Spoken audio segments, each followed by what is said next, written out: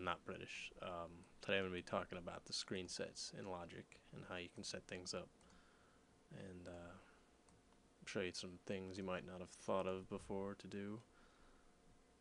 Alright, basically, this is my track right here, and it's in its final stages. It's almost pretty much complete. The arrangement's all done, and I just need to just work on the mix down and everything.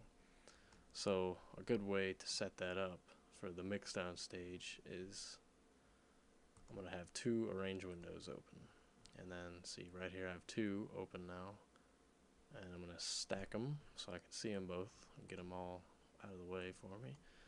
And this top one I'm going to make up here so it's kind of zoomed in a bit and I can see the details and the waveforms and whatnot and just kind of see the close-up picture. And then this bottom one I'm gonna have save that as the kind of overall arrangement view.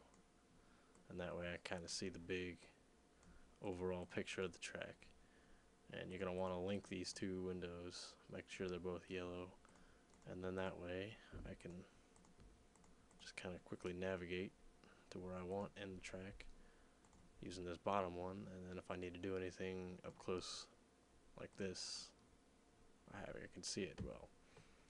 And then once you get it like that you just lock it. And then um, I'm just going to press 2 on the keyboard and it brings up the second number 2 of the screen set. And then there's 3 and 4 and 5 and you can see them up here. So this is the second one and it's a bunch of junk. So I'm just gonna have this one set as the track the mixer. So now I can just see everything and then I'm gonna lock that. See I can quickly go to 1 and 2 real fast and that's that's pretty much it